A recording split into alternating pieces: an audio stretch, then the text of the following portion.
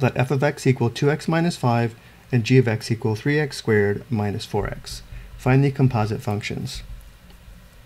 First we have f of g of x. And given this form of a composite function, it's often helpful to convert to the alternative form shown below. We can also write f of g of x using this notation here. This notation is usually much easier to work with.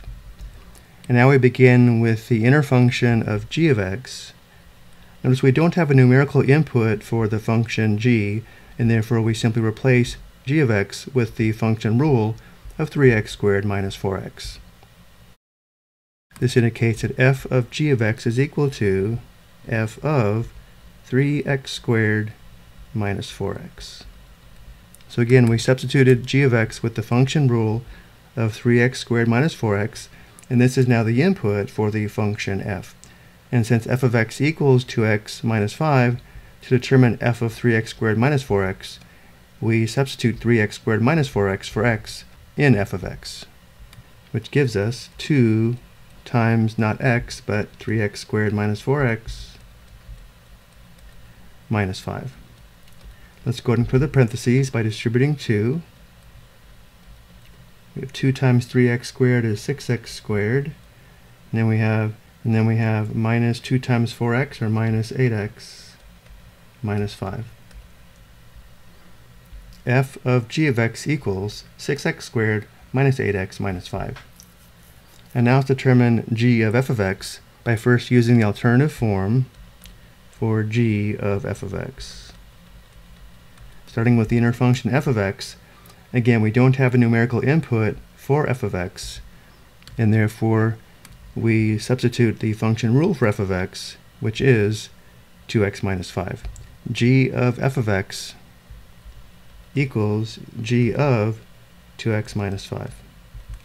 And now 2x minus 5 becomes the input into the function g, and since g of x equals 3x squared minus 4x, g of the quantity 2x minus 5 is equal to 3 times the square of 2x minus 5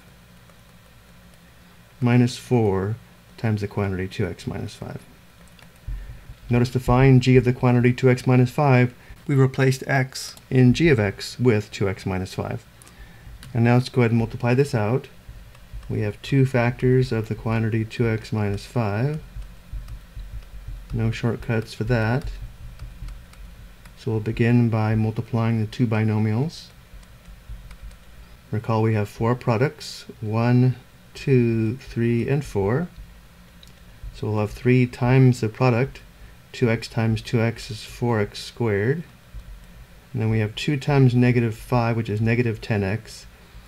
And then we have negative 5 times 2x, which is another negative 10x, giving us minus 20x.